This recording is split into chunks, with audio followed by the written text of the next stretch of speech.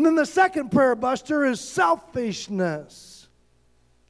If you take prayer buster number one and prayer buster number two and combine them, they do a lot of damage.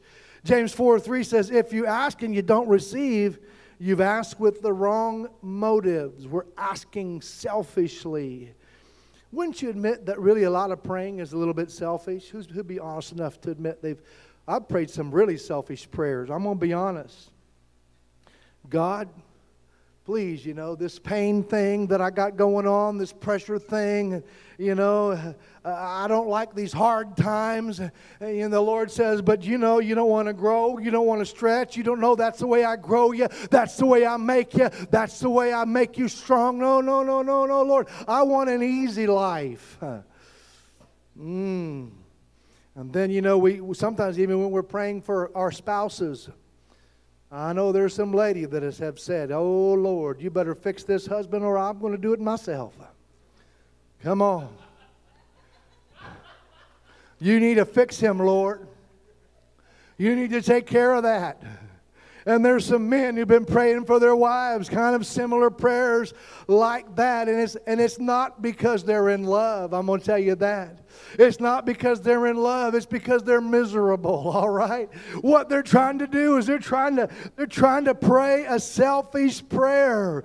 Uh, but here's the thing, I think that if we align our desires more with God's desires, that that that that, that, that our prayer will become more focused and more powerful. Amen? Well, you say, well, Pastor Bob, is it okay if I pray about things like Sure, you can pray about everything, and we ought to pray about everything. But before we pray for a husband or wife to be changed, maybe we ought to pray like this Lord, what in the world am I doing that I need to change? What can I do? What's the response that I need to have? And sit and listen to that for a while. Come on.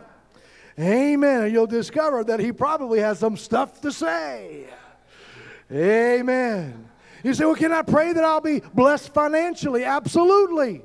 Amen. Jabez prayed a prayer like that. He prayed to be blessed financially. But let me tell you something when you're praying to be blessed financially, I would encourage you talk to the Lord about your giving. Amen. Tell him, Lord, I'm a, I, I, I want to give more. I want to be a giver. I want to be that kind of a person. Let me tell you something. God, I believe that God looks for people who are willing to be a channel of God's blessing. I honestly believe that He searches through the earth and He looks for unselfish people who'll say, you know something, if, if, you, if I bless them, they're going to bless somebody else. Because how many of you know sometimes a few dollars can be a miracle to somebody? Come on. How many of you know that's the truth? Sometimes if somebody gives you some money, you could, you could be thanking Jesus all week long. Hello.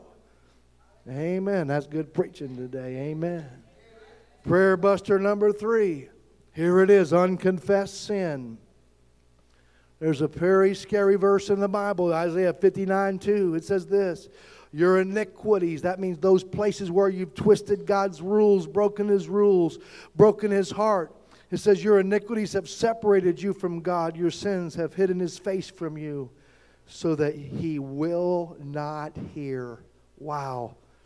When we've been rebelling against God and not listening to Him, not living our life His way, how many think that's probably not the best time to ask God for a favor? Am I right? Let me give you an example. You come home on a Saturday morning from eating your breakfast at Denny's or wherever you eat it, I don't know. And you look at the yard and you realize, oh man, my lawnmower's broke. The yard totally it's so overgrown. It's just looking horrible.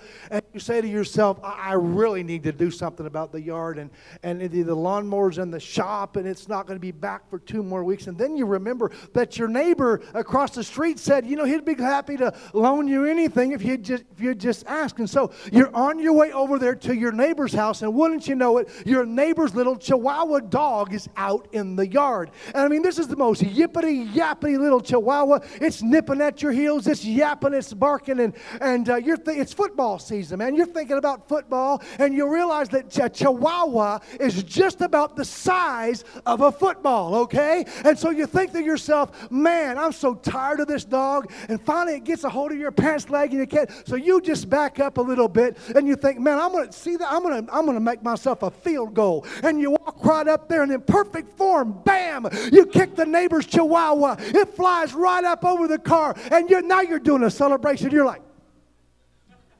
three points. Oh yeah. Extra point, whatever. And you're so happy.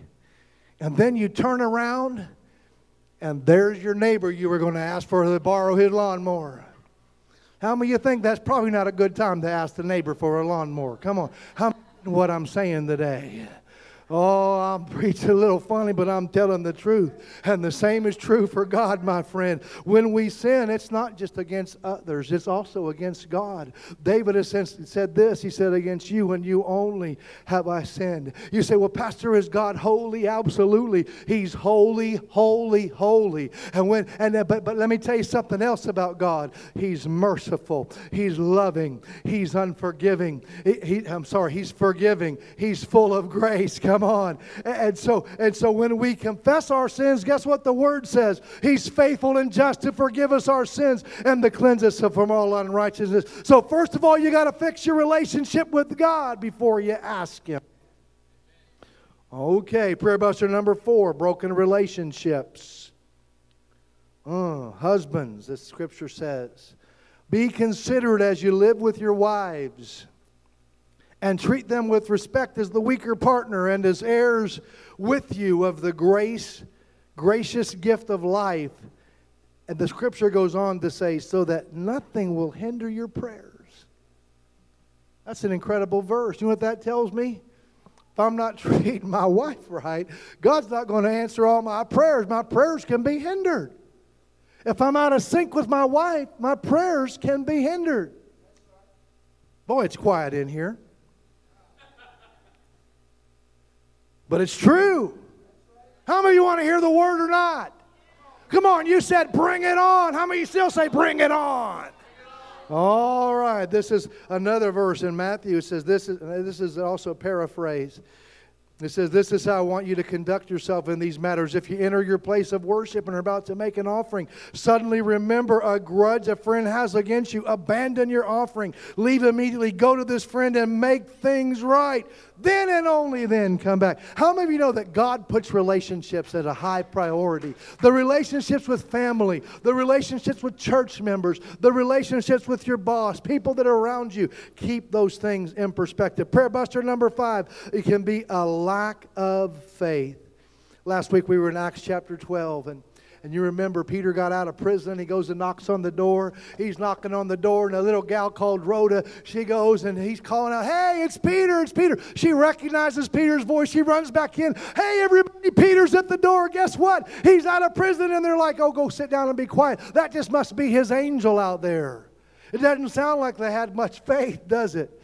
And so Acts 12, 16 says, Peter continued knocking, and when they opened the door and saw them, guess what they were?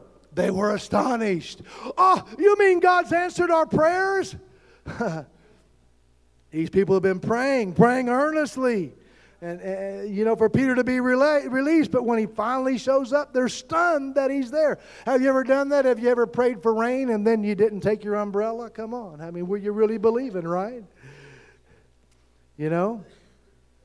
These people were having a hard time believing that God was going to answer their prayers. But this was what I know Somebody had touched God about Peter. Somebody had touched the Lord about Peter. It takes faith to please God. And uh, a lot of people think, well, you know, I just don't have enough faith. I don't have enough faith. How many of you realize that you can increase your faith? You can increase your faith. You say, How do I do it? Faith comes by hearing, and hearing by the Word of God. If you need more faith, get into the Word. Start reading the Word every day. Start trusting God every day. Start believing God every day. And besides, the devil will tell you you need a mountain load of faith in order to be able to see your prayers answered. Listen, you do not need a mountain of faith. All you need is a mustard seed of faith, a little bit of faith, a tiny little mustard. The mustard seed is so small you can hardly even see it. You can hardly even see it, but if you have that little amount of faith, the word says you can speak to the mountain and the mountain will have to move. Come on, somebody give the Lord a hand of praise.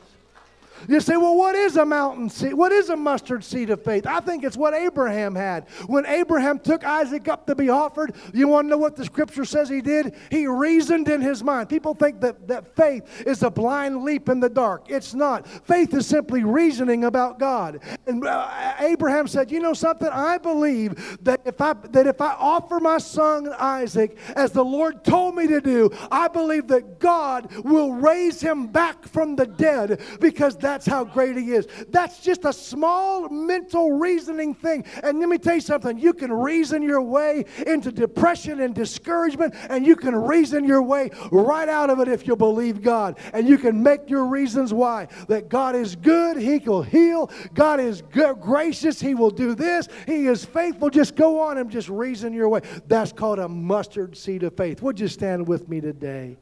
Amen. Thank you for letting me just share this word today. Man. Man, y'all must have just made me preach too long today. It's y'all's fault. No, it's not. I'm glad you're here today. We're going to pray today.